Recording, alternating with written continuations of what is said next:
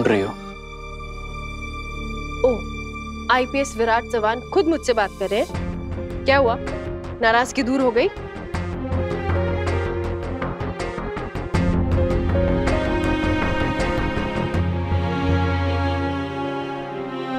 हाँ सही नाराज़ था मैं तुमसे लेकिन था। बाकी को घर में वापस लाने के लिए उसकी सारी शर्तें मान ली है तुमने। तो खाम खाम इस बात को क्यों खींचूं? बाकी दीदी ने मेरे सामने शर्तें नहीं रखी थी। मुझे ब्लैकमेल किया था। हाँ मैं जानती हूँ। आपने मुझसे कहा कि मैं पाकी दीदी के लिए इस शब्द का इस्तेमाल नहीं करूँ। लेकिन आप बताइए सच सच ये ब्लैकमेल नहीं तो और क्या है? एक मिनट। सही मैं पाकी की साइड नहीं ले रहा हूँ।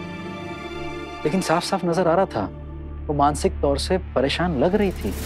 हाँ इतनी परेशान थी कि हमें महाबलेश्वर में एक पहाड़ी की चोटी पर मिली। दिखाना क्या चाहती थी वो? वो हमारे डर के साथ खेल गई। नहीं, सही। मैं जानता हूँ तुम इस बात से परेशान हो कि पाखी ने तुम्हें उससे दूर रहने के लिए कहा है। लेकिन तुम्हें नहीं लगता? वो ये सब करने के लिए मजबूर हो गई थी? उसके अंदर का फ्रस्ट्रेशन बढ़ता जा रहा था, सही? और कभी ना कभी बाहर आना ही था। हाँ मानता हूँ तुम ये भी दलील दे सकती हो कि अगर पाखी इस ये सब नियम, कायदे, कानून के लिए रेडी नहीं थी, तैयार नहीं थी तो ये प्रक्रिया के लिए उसे मना कर देना चाहिए था। करना ही नहीं चाहिए था। लेकिन सर, ये मत भूलो, वो एक इंसान भी है।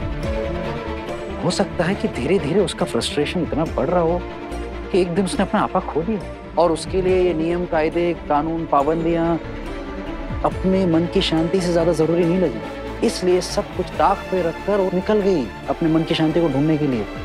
हो सकता है ये सब।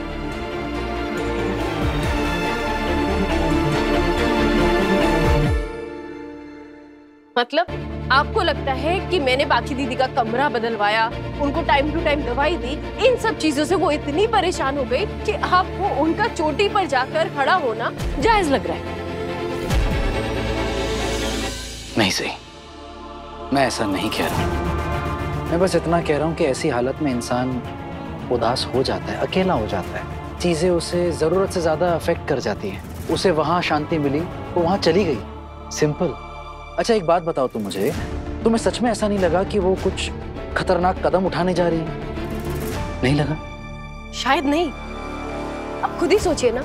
वैसे पाकी दीदी इतनी परेशान थी। मेरी बात आई से सुनकर कि मैं उनसे पेपर साइन करवा के रहूँगी।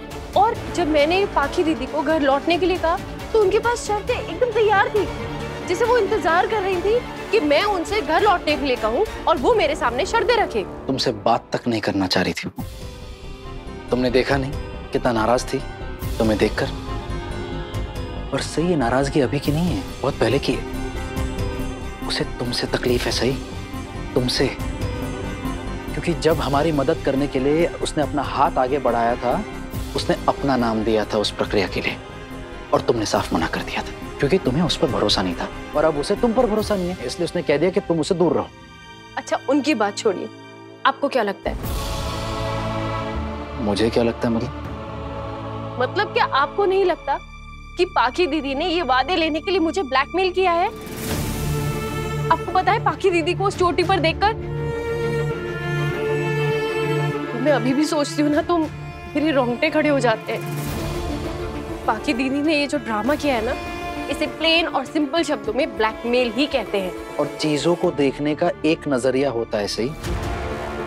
ज़रूरी नहीं है कि जैसे तुम सोच रही हो सब कुछ वैसा ही हो। मैं इसलिए तुम पाखी हाँ पाखी कुछ चाहिए तुम्हें? हाँ विराट। क्या तुम मेरे कमरे में आ सकते हो? क्या हुआ? सब ठीक है? तुम ठीक हो? कुछ चाहिए तुम्हें? तुम ये इसीलिए पूछ रहे हो ना ताकि तुम अपनी बीबी से पूछ सको कि तुम यहाँ आ सकते हो कि नहीं। अगर ऐसी बात है ना विराट तो तुम प्लीज़ मत आओ। प्लीज़ रिलैक्स ऐसी कोई बात नहीं है। आ रहा हूँ। उसे कुछ चाहिए। और आपको नहीं पता ना कि उन्हें क्या चाहिए है ना? ये बस शुरुआत है। चाहिए अपना फ़र्ज़ निभाइए। चाहिए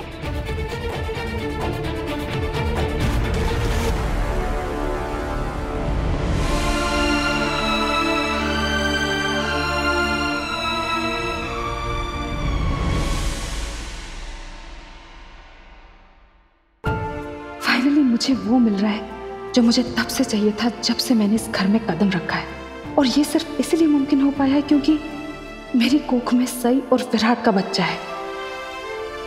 बाकी तुम ठीक हो?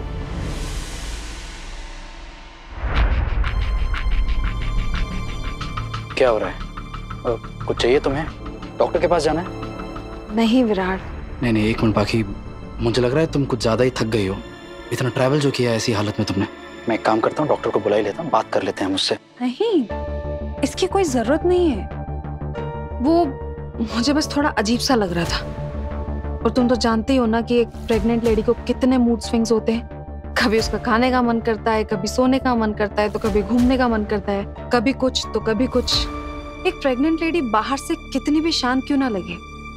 लेकिन उसके मन के अंदर जज्बात का एक तूफ़ान हमेशा उमड़ता रहता है। वैसे मेरी आई कहती है कि ऐसी हालत में आइसक्रीम खानी चाहिए। इससे मन शांत भी हो जाता है और खुश भी। इतनी सी बात थी। आइसक्रीम खानी है तो बताओ ना कौन सी मैं ऑर्डर करता हूँ अभी। ऑर्डर करना होता तो मैं खुद नहीं कर लेती विराट। तुम्हारी वाइफ ने भी तो वही किया था। मेरा कहीं बाहर जाने का मन कर रहा है। पर बाकी मैंने अभी कहा ना तुम थक गई हो। महाबलेश्वर से ट्रैवल किया विराट अगर तुम्हें नहीं लेकर जाना है ना मुझे तो तुम प्लीज़ मुझे बता दो। मैं खुद ही अकेले चले जाऊँगी। और प्लीज़ मुझे ढूंढते ढूंढते मेरे पीछे मत आना। एक मिनट। प्लीज़ शांत हो जाओ ऐसे क्यों बिहेव कर रही हो? तुम्हें बाहर जाना है ना? लेकर चलता हूँ चलो।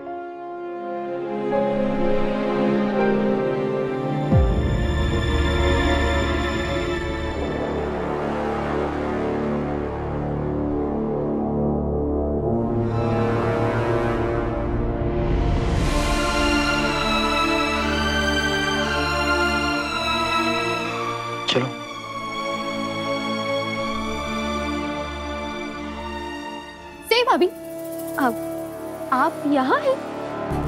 पत्रलेखा भाभी और विराट दादा तो बाहर गए। आप नहीं गई उनके साथ?